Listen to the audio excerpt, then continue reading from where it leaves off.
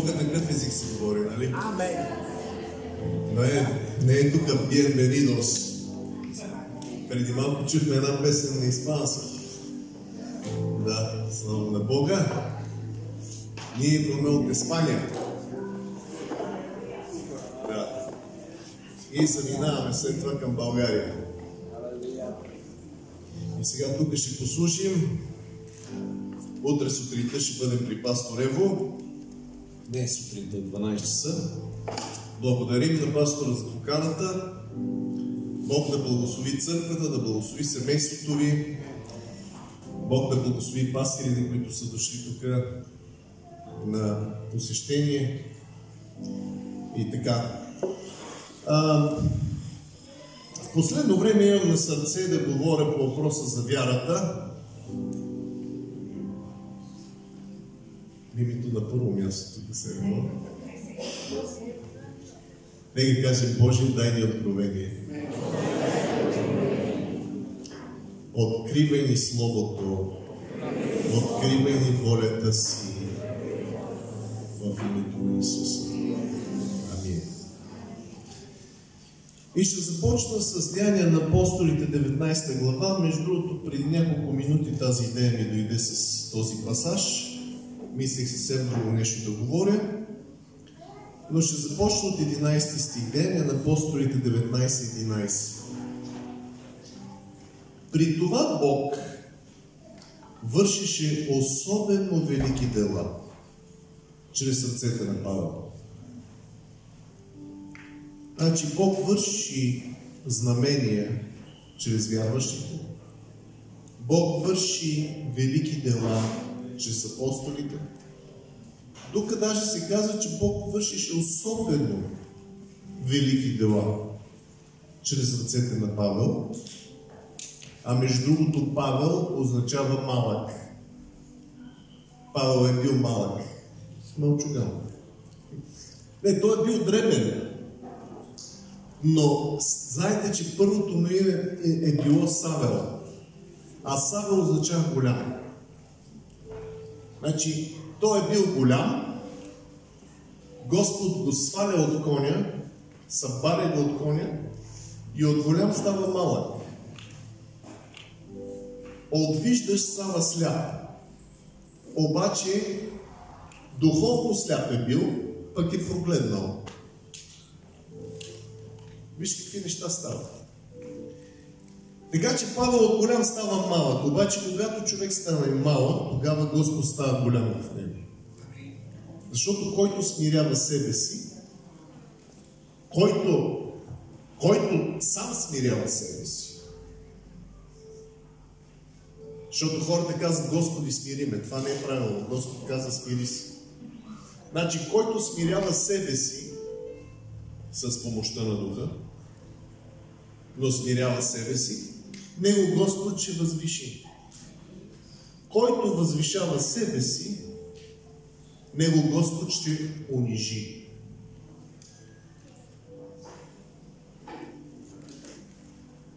Така че от нас зависи.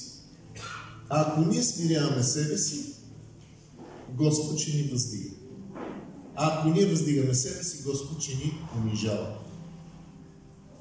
И казва Библията, не е одобрен този, който сам себе си препоръчва, а онзи, когато Бог препоръчва. В света много хора се препоръчват. Препоръчват своята вярност, препоръчват своя характер, препоръчват своите способности, своята честност. И аз като гледам, като пусна телевизора понякога, като гледам хората как говорят убедително, ще кажа всичките, че са свети. А то не е така. Всеки е убедителен. Но Господ изпитва и знае сърцата. И Господ храни онова, което поръчва. Господ спонсорира онова, което поръчва. Затова, ако искаме да имаме попътен вятър, ако искаме да имаме помощта на Бога в живота си, просто трябва да се влеем в реката на Духа. не да плуваме срещу течението, а да плуваме по течението на Бога, по течението на Духа. Затова ние сме подобни на платноходки, само че днес вече това много не се използва. Нали? Едно време са плували с платноходки, с платноходни кораби и са използвали силата на вятъра. За да отидат там, където трябва да отидат. Както и ние днес трябва да използваме силата на Святия Дух, за да направим това, което трябва да направим. И даже Библията го казва в Исаия 40 глава. Онези, които чакат Господа. Обаче онези, които чакат вятъра, за това става въпрос. Господ е вятъра. Онези, които чакат вятъра на Святия Дух, ще се издигат с криле като орли.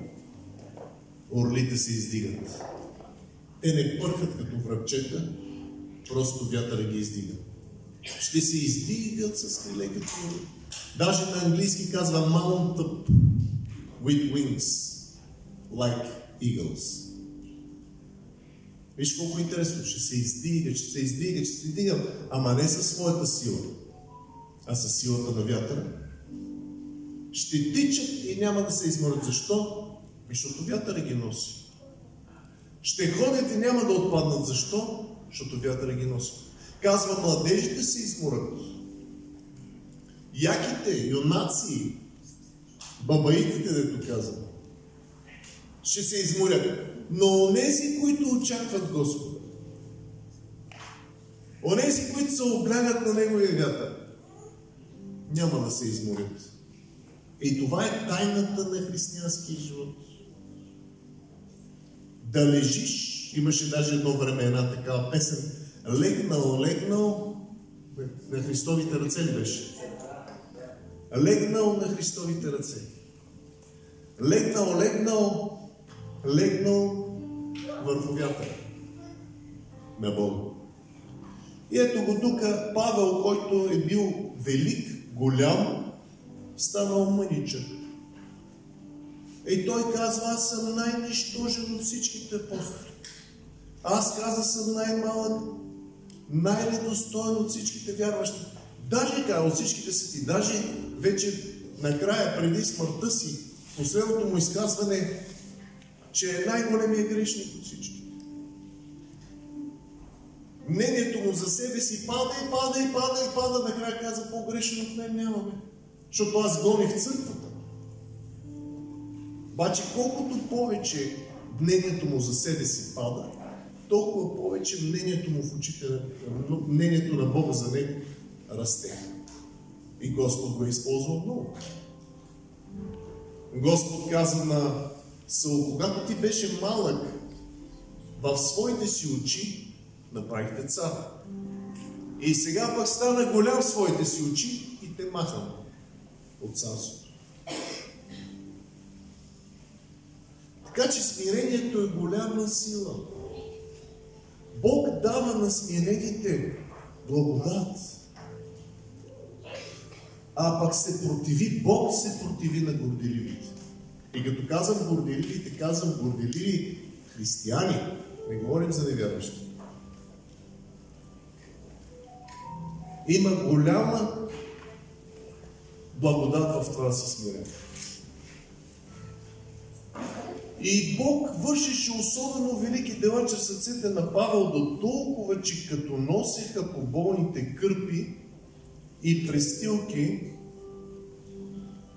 от тялото на Павел, даже не се казва, че Павел се е молил върху тях.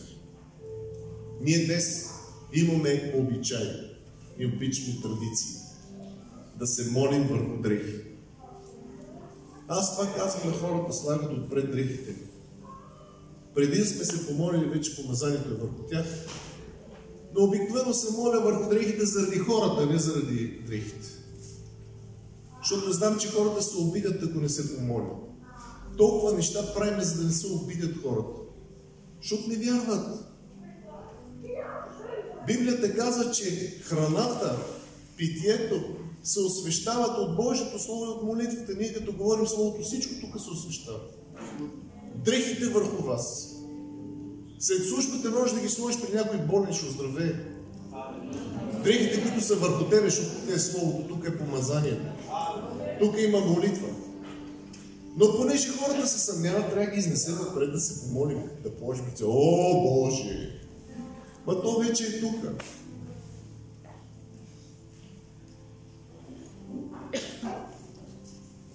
Така.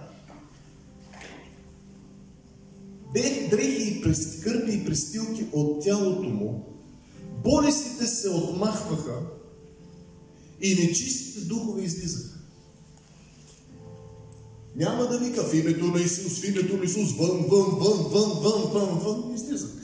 Само от дрехите. Какво ще кажете за помазанието? А някои от скитащите юдейски заклинатели, тук думата на гръцки ексорсисти, някои от скитащите юдейски ексорсисти предприеха да произнасят името на Господ Исус над тези, които имаха зли духове. Значи тия хора не са вярващи в Исус. Те не са новородени, не са покаяни, не са кръстени със Святия Дух. Тези хора просто са видели, че в устата на Павел името на Исус върши работа.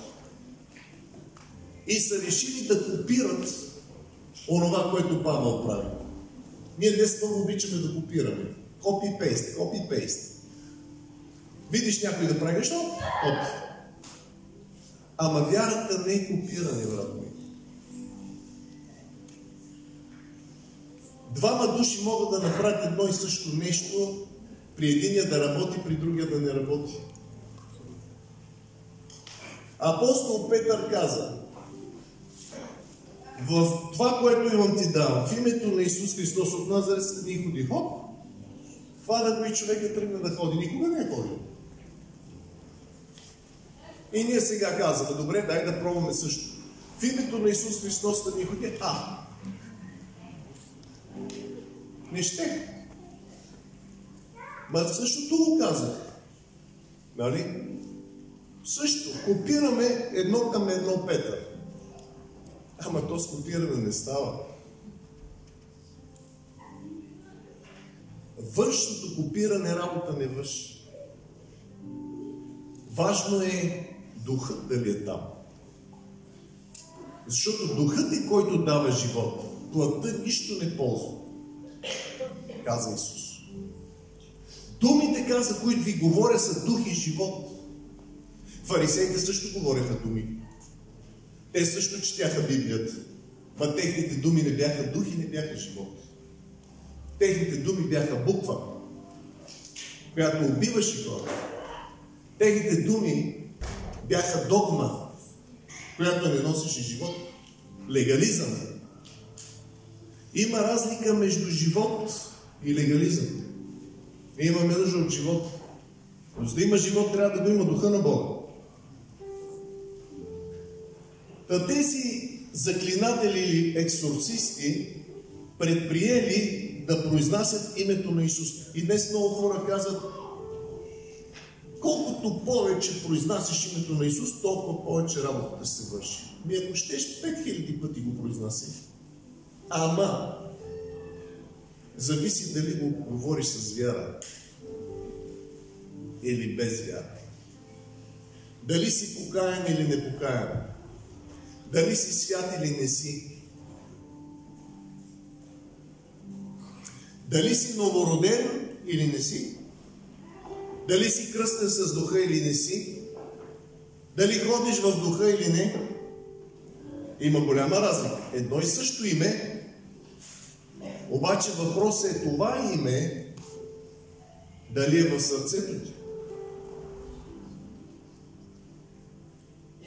Защото Петър като вдигна оня човек и обясни после на хората, каза, слушайте сега да ви кажа, аз не съм го направил със собствено благочестие или собствена сила това. И започна да благовества Исус Христос.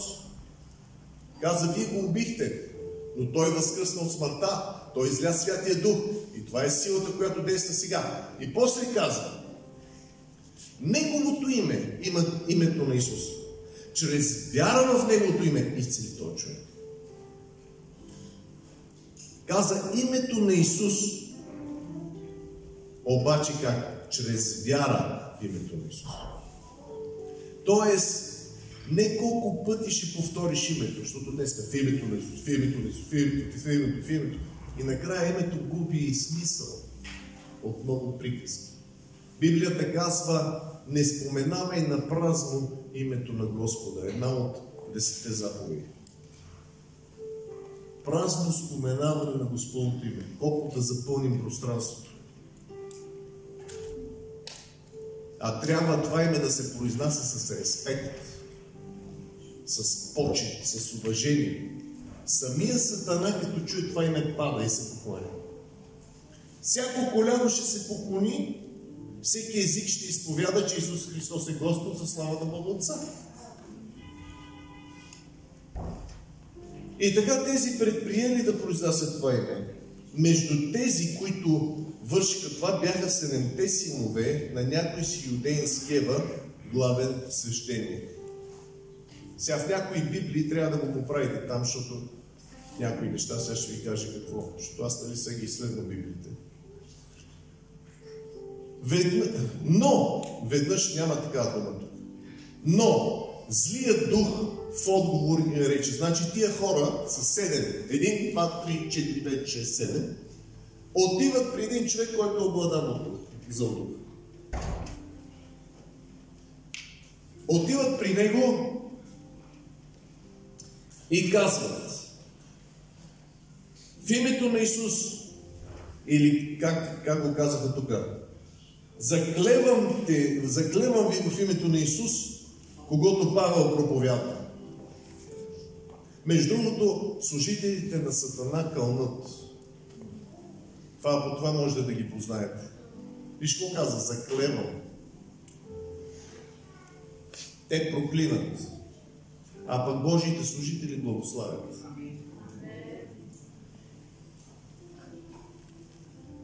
Така. Говорим за хората.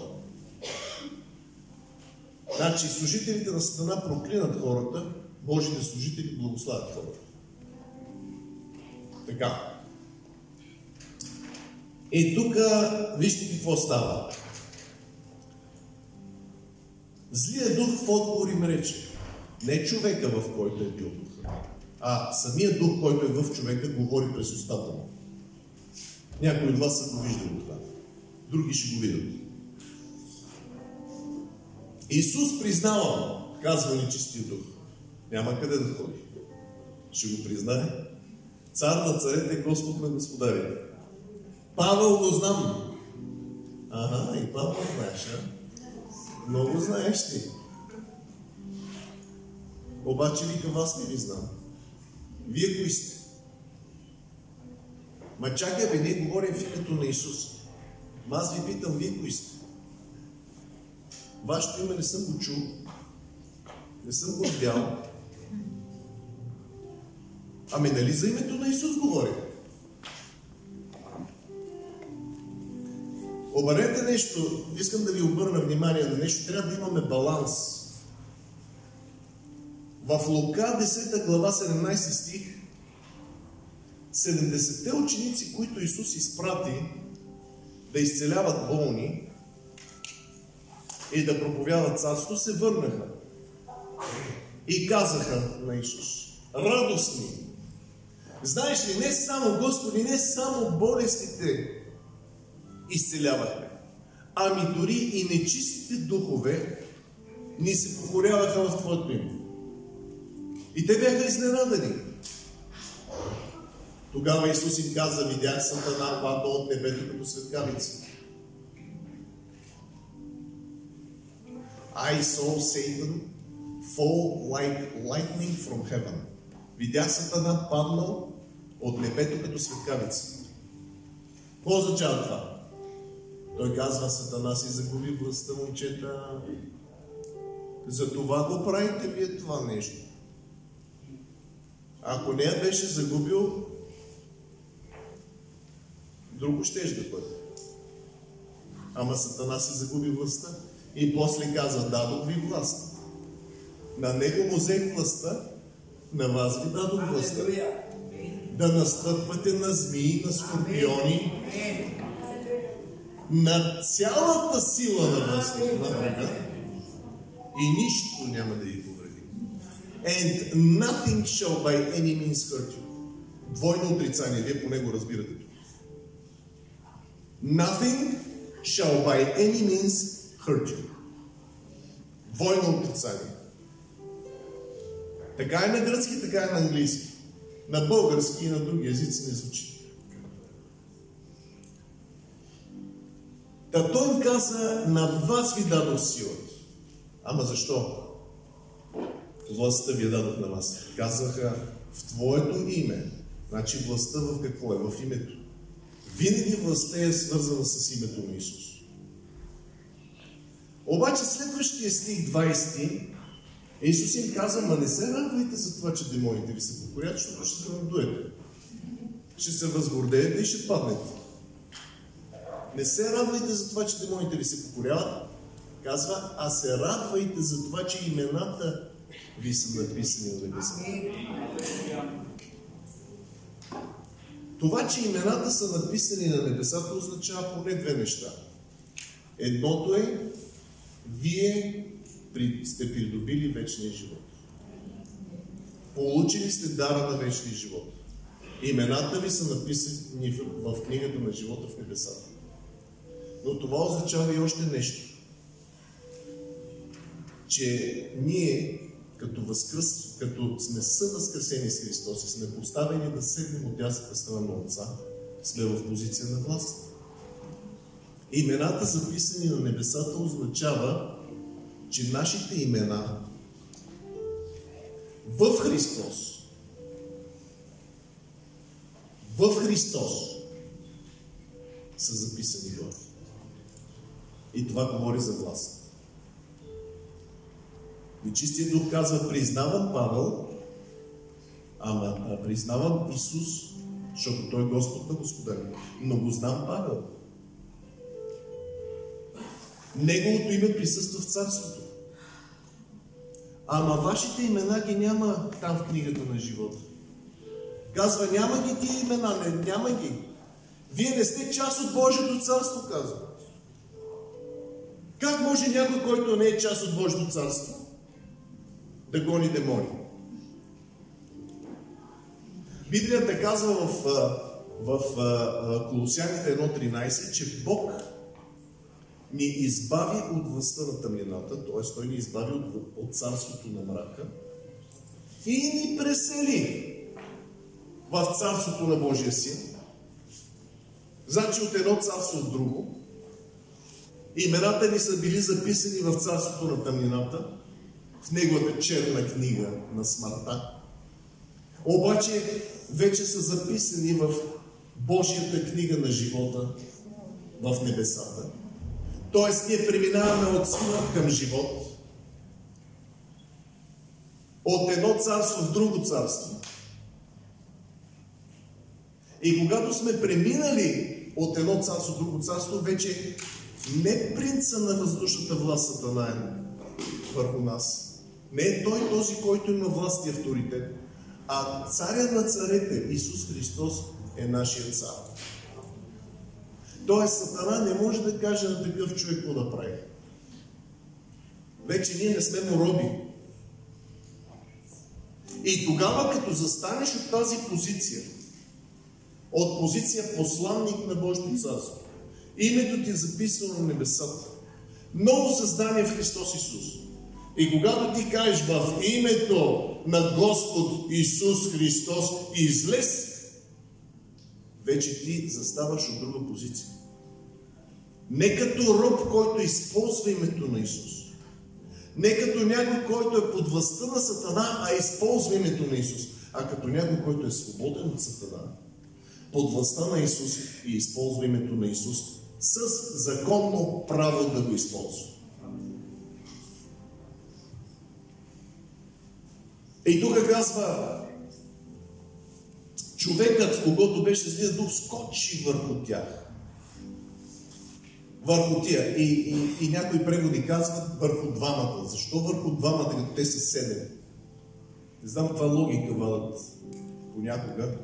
Са двама, те са седем, нали? Почетохме, че са седем. Значи скочи върху тях. Върху колко? Върху седем човек. Значи един човек с демон скочи върху седем човека, които се правеха на християни.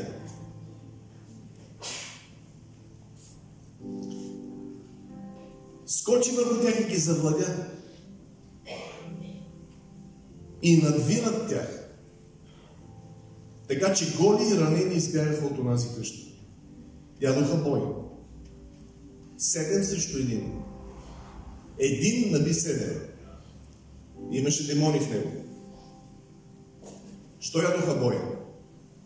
Що нямат право да използват това име. Те са никой в Божието царство. Те нямат право. Те са под властта на тъмнината, а който е под властта на тъмнината, не може да гони тъмнината. Трябва да си от светлината, за да дойдеш тъмнината. И днес това е голям проблем. Хора, живеещи в два свята. Живеещи в царството на мрака и опитващи се да ходят в царството на светлината. С единия крак в Божието царство, другия крак в царството на Сатана. Така не може. Заблуждава себе си, казва Библията. И това стана известно, известно на всичките ефески жители, иудеи и гърци, и страх обзе всички тях, и името на Господа Исуса се възвеличаваше. Те видяха, че шега с името на Исус няма да, не може да се прави. И мнозина от повярвалите, вижте сега, повярват, хората повярват. И днес има хора, които повярват. Мнозина от тия, които повярваха, идваха. Халелуя, приемаме Исус. Супер. Слава на Бога. Обаче вижте едно време какво са правили. Повярваха и се изповядваха. Не само пред Бога се изповядваха, а публично се изповядваха и изповядваха греховете си. Всички ги чуват. Обаче това означава, че имат вяра. А не, а мен ме е срам, брат. Вика, те е срам, поне пред Бога се изповядай. Поне пред Бога си признай. Не си признават дори пред Бога. Повечето хора не си изповядват греховете. Какво означава това? на най-вяра. Под секрет. Само въздух под налягане. Приказки празни. Като надут балон. А тези хора, като повярваха, изповядваха греховете си публично пред църквата. Изказваха делата си, казва. Вижте какво пише. И изказваха делата си. Мнозина още и от онези, които правеха магии, магиосници, чародеи, ходчи, врачки, гледачки, баячки, тия де леят куршуми, олово, какво беше друго? Живак, жертвоприношение, подаване, каквото и да е друго. Тези, които правеха магии, донасиха книгите си. Са, те са били и с книги. Днес не го правят с книги повечето от нашите. Го правят с предмети. Нали? Донасиха книгите си и ги изгаряха пред всичките. Имаше огън, който палеха и изгаряха пред всички. Какво означава това? Това означава вяра. И това означава покаяние. Защото може да кажете, Ама брат, ти знаеш ли тази книга колко е ценна? Знаеш ли колко е скъпа тази книга? Как да избора?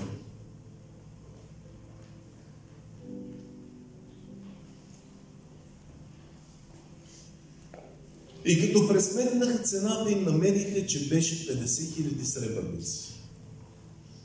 Дерек Принс казва, че по това време, той почина при година, трета година, значи при 21 години почина, а той по-рано го е казал, тогава казваше, че тази стоеност е равна на 1 милион долара. Не знам сега на колко е важно, на колко се равнява, но дори само 1 милион долара да е. Представете си за какво покаяние става въпрос.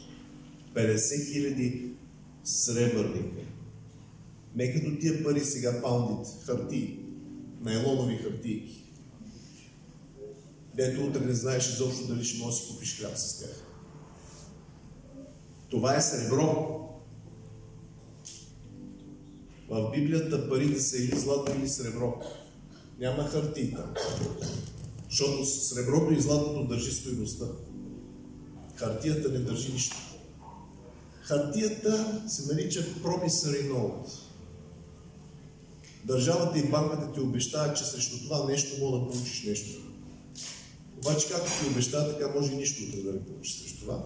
От това между нас. Така. По-нататък казва така.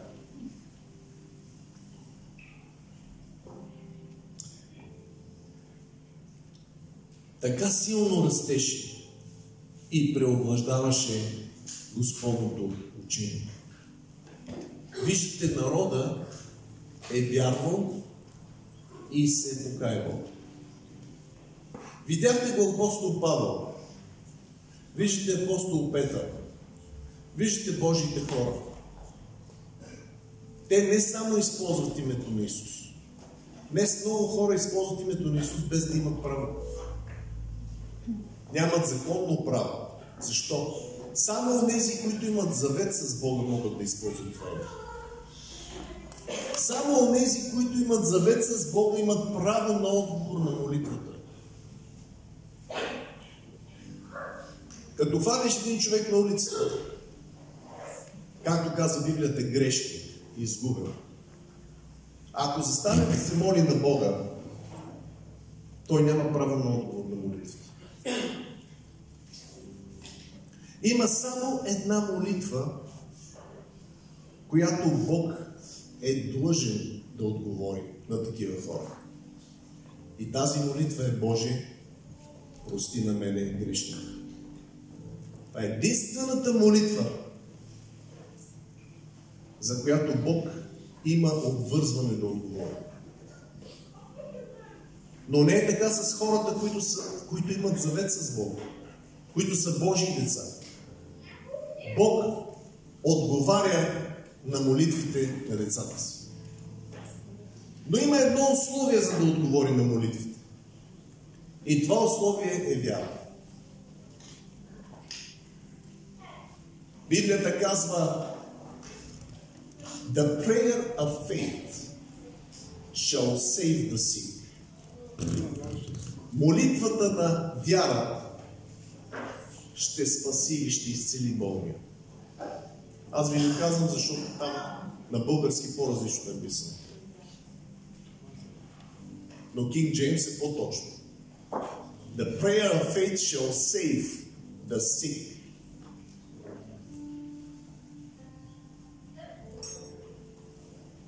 Така че молитвата, която е с вяра, е тази, която получава отговор.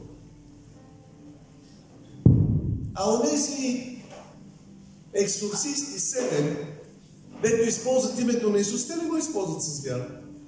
Те са видели, че Павел използва името, дайте и ви да пробваме. То с пробване не става. С копиране не става. Вярата е оригинал. И някои хора казват, аз видях еди кой си получи еди какво си изцеление и аз ще отида по същия начин ще го получа. Ама някои не могат да го получат по същия начин. Защо? Защото то не става с. Този човек го е получил, защото той има вяра. Той е задвижил вярата си. А ти отиваш, защото си видял, че друг го е получил. Ама може да нямаш тази вяра.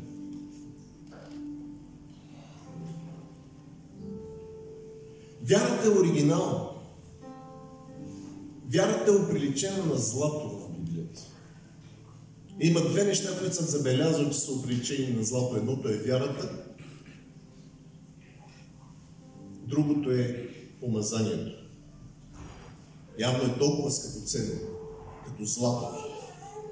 В Захария 4 глава се казва, през две тръпички маслото минаваше като злато. Като злато. А пък в Петровото послание се казва, че вярата се изпитва, както златото се изпитва в огън. Вярата е злато, вярата е по-скъпоценна от злато. Мъдростта е по-скъпоценна от скъпоценните камъни.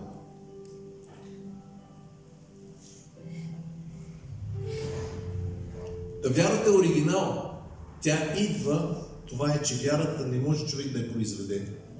Не може да направиш фабрика. Не е като artificial intelligence сега, дето има. Човешки ръце ги правят. Вярата е нещо, което само Бог може да даде. Тя идва, небес, тя има небесен происход. И идва към нас от Бога. Ако нямаш връзка с Бога, няма откъде да ти дойде. Не може човек. Днес хората искат, дай, полагай ръце, брат ми, полагай ръце. Полагаме ръце, човека в момента получава. Може да получи чудо в момента. Обаче, за да можеш да имаш благословен живот, за да можеш да имаш един живот, който наистина а, да има стойност, ти трябва да имаш един невидим източник. Трябва да си свързан с невидимия Бог. Вярата идва от Него. Помазанието и силата идват от Него. Ако не си свързан с Него, само чакаш Него и ти полага ръка. Но най-доброто е да отидеш да пиеш от извора. Да имаш контакт, да имаш връзка с Него. И вярата идва към човека. Но тя идва по два канала, които действат заедно. Единият канал е Словото. Ето Библията. Искаш вяра? В Библията е вярата. Обаче, когато Библията се съедини с Духа на Бога, другия канал е Духа. Библията и Духът работещи заедно. Както сега вие в момента слушате моят глас. Чувате гласа ми и какво чувате? Чувате Словото и от устата ми излиза дъх. Затова чувате гласа ми. Ако няма дъх, няма глас. Остава само буква. Значи Библията без дъх остава буква. Библията с Божия дух става глас. Вярата идва от слушане. Ти не слушаш буква, ти слушаш глас. За да има глас, трябва да има духа. Значи, слушането на Божието Слово става, когато Словото бъде оживотворено от Духа на Бога. И това всичкото трябва да стане в сърцето ни. Не извън сърцето. Защото вярата е в сърцето. С сърце човек вярва и се оправдава. И това означава, че това слово и този дух трябва да се съединят в твоето сърце. Да стане една мескла, както казват испанците. Микс. Вяра и дух да се смесят в сърцето ти. Словото и духът да се смесят в сърцето ти. Това е вяра. Словото и духа в сърцето. Това е вяра и тази вяра експлодира. Тази вяра носи благодат, носи благословение, носи чудеса и знамения. Но трябва да е вътре в сърцето. Това означава, че чудото е станало в сърцето ти. И когато чудото стане в сърцето ти, той излиза от сърцето ти. Тоест човек манифестира това, което е в него. Ако го няма вътре, не може. Вижте какво каза Петър. А, а, човека е куц от 40 години, никога не е ходил, 40 годишен. Казва, дай малко пари, злато и сребро няма да ти дам. Но, казва, това, което имам, ти дам. Значи, какво има? Има нещо вътре в сърцето. Съкровищницата си има нещо. Какво има? Има духа на Бога, има Словото на Бога, т.е. има вяра в Бога. И казва, това, което имам, ти давам. Стани и ходи. Той даже не се помоли за него. А какво направи? Стани и ходи. В името на Исус. Що бе, Петре? Защото аз съм се молил. Аз съм се молил вкъщи. Аз съм си се молил пред Бога, сега тук като съм застанал пред човек каза, няма какво се моля, аз съм трябва да го изселя. Това, което Бог е депозирал в моята отроба, сега вече ще го дам. Релиз и anointing. Тоест, когато служим и ние освобождаваме от това, което вече Бог е депозирал в нас. Не е време сега да трупаме нещо вътре. То трябва да е тук. И като дойде необходимост, в името на Исус, айде, получавай, стани, ходи, бъди изцелен, така. А молитвата си е къде? За вкъщи. Молитвата си е за молитвени събрания. Но когато служим, служим. И искам едно друго нещо да ви покажа тук. Да разсъждава в оня ден. Върху това ще ви го прочита. То се намира в Яков, втората глава. Вижте какво казва Яков. 18 стих. Някой ще рече, някой, някой ще каже, ти имаш вяра. Да, имам вяра, да. Той казва, а пък аз имам дела. Чай се. Той казва, ти имаш вяра, аз имам дела. И ти казва, ако можеш, покажи ми вярата си без дела. Е, как да ти покажа? Тя е съкровенна, тя е в сърцето ми. Да, ама като кажеш, че с вярата е в сърцето, тя има и няма. Защото вярата не е дума, тя е дух. Има ли го духа в сърцето ти? Вярата е слово. Има ли го в сърцето ти това слово? Имам, аз съм вярващ. Да, ама всеки му казва, че е вярващ. Ама докажи го, да казва. Докажи, че вярваш. Въздух под налягане. Повечето случаи. Приказки. Ние днес обичаме приказки. То такава, такава ни е културата. Те гледате във Фейсбук, на само там. Фасада, фасада, фасада, всичко външно. Хората се фащат за външно. Включително и в служението. Застане някой и каже някой глупост, леле какъв служител в Бога. Хората нямат разпознаване. Вярват глупости колкото искат. Виж какво казва? Това е Словото. Ти имаш вяра, аз имам дела. Ако можеш, покажи ми вярата си без дела. И казва, аз ще ти покажа вярата си. От моите дела, казва. От моите резултати. Защото, нека да отидем на 26 стих. Аз ще ви кажа 19, че го пропуснахме. 19 казва и безсовете вярват и търпелят. Някой ще каже, как така а, бесовете вярват? Ами искам да ви кажа, че бесовете вярват повече от някои християни. Някои християни не вярват, например, че днес Бог гони демони, но бесовете му вярват и треперят. Някои хора не вярват, че Исус е Божия син, бесовете му вярват. Те казват, ти си Божия син. Те вярват повече от хората. Проблема им е, че те не могат да се покаят. Защо? Защото нямат дара на покаянието. Покаянието, брати и сестри, е Божи дар за хората.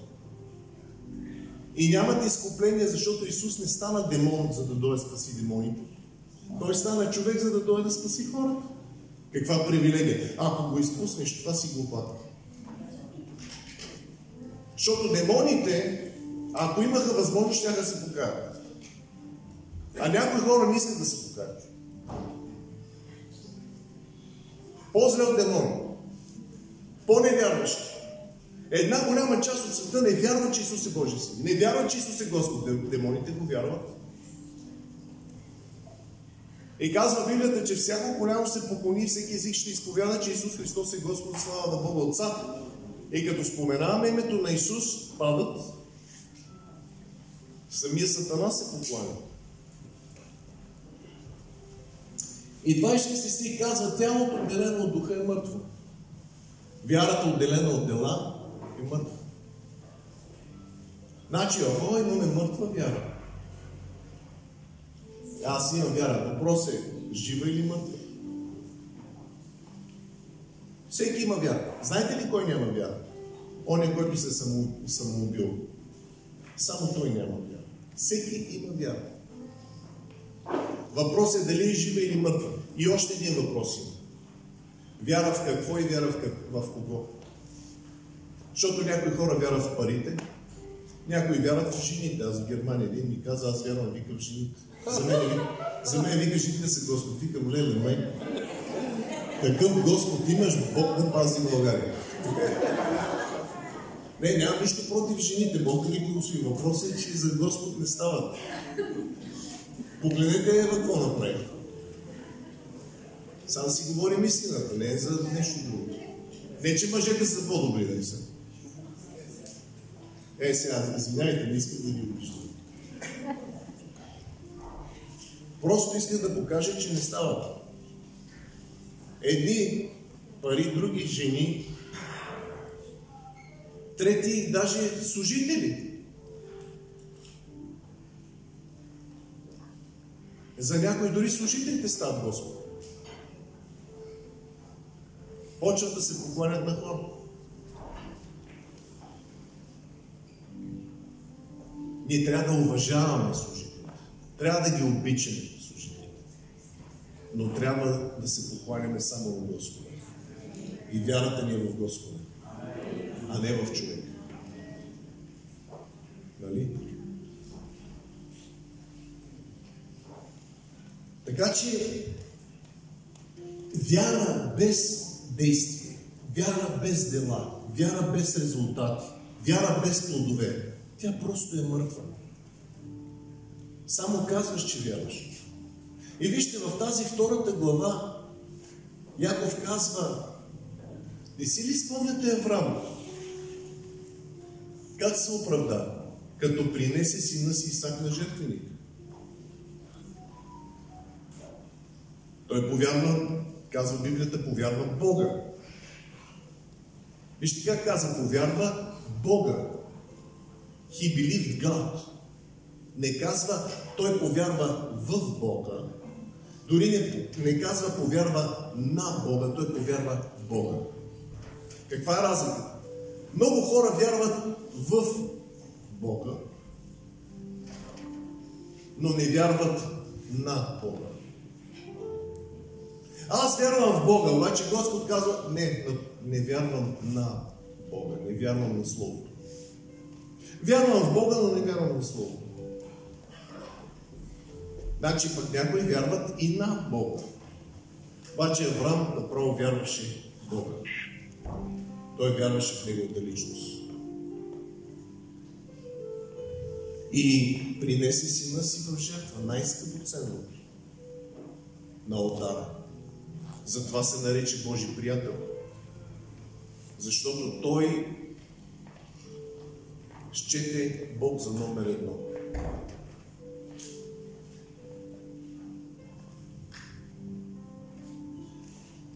След това казва Рав, блудницата.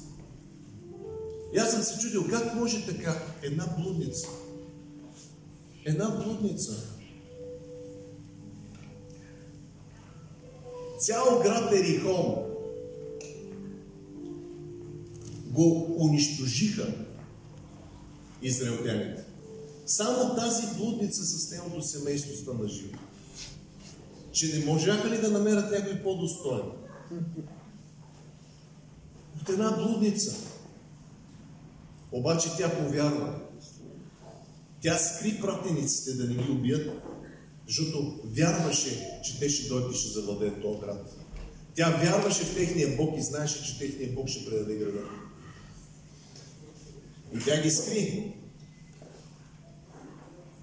И заради тая нейна вяра, тя спаси себе си и целия си дом.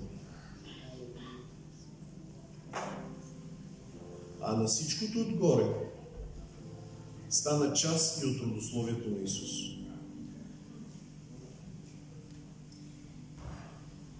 Какви чудеса в тая Библия? А? Да се чудиш. Без вяра не може да се угоди на Бога. Защото който идва при Бога, първо трябва да вярва, that God is. Да вярва, че Бог е. Кинг Джеймс го казва най-добре. God is. Не, както казват на български, има Бог. Има луна, има небе, има звезди, има хора. Има ги, няма ги, има ги, няма ги. Но Бог не е, има, няма. Бог е. Той е вечното е. Той е вечно съществуващи. Никога не е имало време, когато да не е бил и никога няма да има време, когато да не бъде. Той не съществува, той е самото съществуване, даже той не съществуванието. Съществуванието съществува в Бога. Така че първо той е, това трябва да се вярва. И второ, някой вярва, че има Бог, но не вярва, че Бог е добър. Мислят, че Бог ги наказва с болести. Мислят, обиждат се на Бога, че някой е починал от домашните им. Аз се чудя, не съм видял никога някой да е обиден на дявола. Да се сърди на дявола. Няма такива работи. Той се е невинен. Душица. Все Бог е виновен.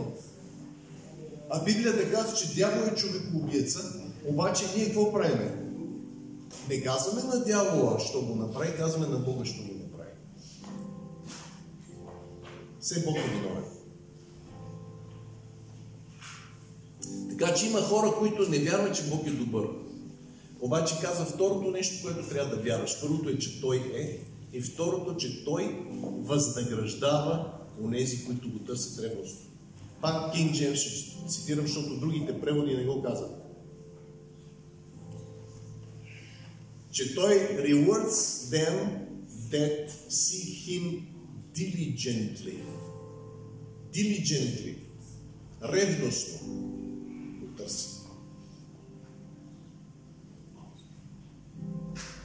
Така че Бог награждава.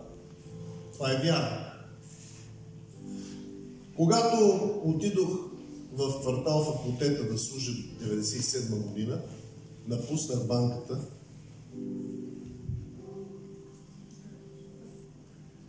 международния отдел на Балкан банк и отидох в Махалата. Започнах да служа там, наложи се да започна църква, стана църква. Аз не съм планирал да, никога не съм искал да бъда пастир, Просто се получи така, че се събраха хора. Стотина човека или колко се събраха и към това вече църква стана, трябва да се пастирува, няма какво се прави. Но аз винаги съм обичал да получавам Словото, не съм искал да пастирувам, защото с хора да се работи е много трудно. Не може да се разберем лесно. И оставям на други тази привилегия. Аз пътувам. Дето казваше Шамбак, като дойде в България 97 година, вика, аз вика идвам тук, той е евангелизатор от Америка, идвам тук, удрям ви и докато ми отвърнете, аз съм си заминал. Да и аз идвам, послушвам и докато някой реши да му удари, съм си тръгнал. Слава Богу. А пастирите, Бог да има на помощ. Верно е, нали? Няма къде да бягаш. Така. Та, аз като започнах и а, си спомням есента къса песен в, в, в България, знаете какво е? Отиваме, ние правихме първо службите в къща на Яшарка и там от Овче купел 2, като се тръгне, една кал невъзможна. И аз с едни обувки, то до тук е кал, братче. И аз върва нагоре, викам, Боже, какво направих, откъде излязох, къде отивам. Върва нататък, отиваме в Яшарка, влизаме вътре, гръмна трафопоста. Ние на свещи вътре бяхме по едно време. Даже имаше едни от Франция, бяха дошли някакви сестри. И, и, и, и като бяхме на Бенихин на събирането във Франция, дойдоха с една голяма чанта, тежка. И вика, това е за вас. Викам, какво е това, бе? Тежка чанта, вътре пълна със свещи. Викам, за какво тия свещи? А те случайно са били точно на тази служба и са видели ние като в православна църква със свещите вътре. Аз тогава разбрах откъде са възникнали свещите в църквата, нали? Защото те не са имали осветление, не са имали ток като нас и със свещи са били вътре да се осветяват. А днес те се купуват и продават. Обаче тогава това е била причината. Както и да е. Тъмнина и такова, и викам Боже, къде дойдох? И само е този глас, тази мисъл, който смирява себе си, ще бъде възвишен. И аз викам, идвам тук, газа кълта, хода в тъмницата, обаче знам, че някой ден Бог нещо ще направи, но не знаех как ще стане. Все едно не, не мога да си представя какво може да стане. Обаче Господ променя нещата. Господ отваря врати. И малко по малко нещата се разведряват. Минаваме през огньове, минаваме през трудности. Обаче принципа си остава. Смирението Бог го възнима. И тук исках да кажа за вярата това, че вярата казва без дела, без действие е мъртва. И за Авраам каза Господ, че чрез делата вярата му се усъвършенства. Чрез делата вярата се усъвършенства. Когато живееш с вяра, твоята вяра ще расте. Библията казва, праведния ще живее чрез вярата си. Тоест, ставаш, събуждаш се с вяра, лягаш с вяра, храниш се с вяра, спиш с вяра, ходиш на работа с вяра, каквото и да правиш с вяра, трябва да го правиш. Не с съмнение, не с неверие. Просто вярвай. Както каза Исус, only believe. Only believe. Fear not. Only believe. Не бой се, само вярвай. И ще се избавиш. And you shall be saved.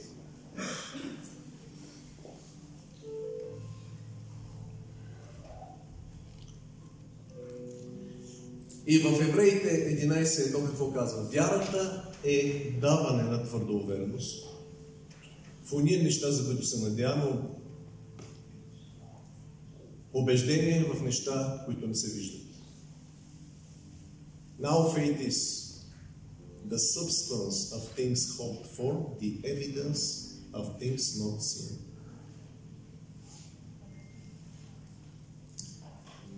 Значи вярата е твърда увереност. Кажи твърда увереност. А това е вяра. Твърда увереност. В какво? В надежда. Значи вярата, а на, на испански казва La fe es la certeza Вярата е сигурност. Е, las cosas que esperamos в нещата, които се надяваме. Значи вярата е сигурност в уния неща, за които се надяваме. Вярата се строи върху надеждата. Тоест, надеждата и сигурността, като се съберат, става вяра. Увереност, сигурност. Виж какви неща има. И после казва убеждение, убеждение, убеден си. Аз виждам някои хора, просто са убедени, че ще умрат. Исус каза, ще ти бъде според вярата. Някои хора са убедени, че зло ще им се случи. Той има сила. Ма вижте го Йов. Йов в третата глава 25 и 26 стих какво казва? Онова, от което се страхува. И даже на английски звучи така. Онова, от което greatly feared. Това ми се случи. Greatly feared.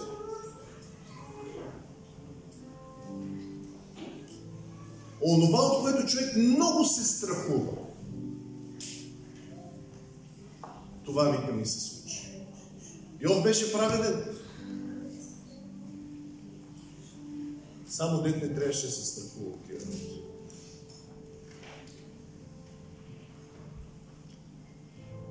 Трябва да имаме силна увереност, убеждение в неща, които не се виждат.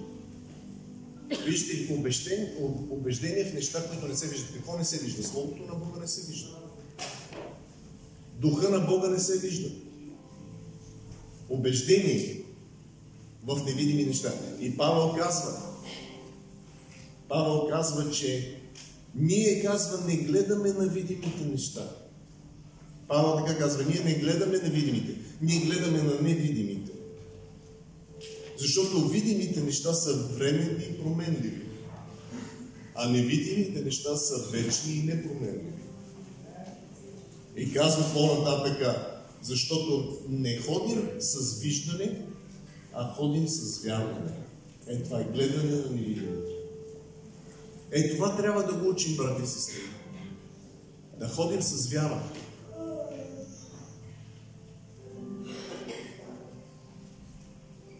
Това е мислене, това е мироглед, а другото е плът. От плътта полза няма. Полза има от духа, полза има от вярата. Дигни ръка нагоре и кажи Аз вярвам Исус.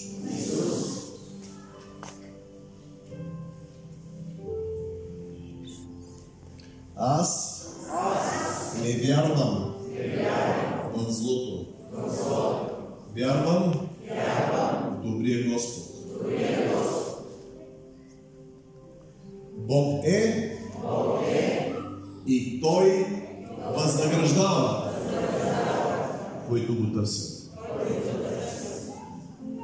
Обърни се към съседа си и кажи, търси Господа и ще те награди. Амин. Слава на Бога.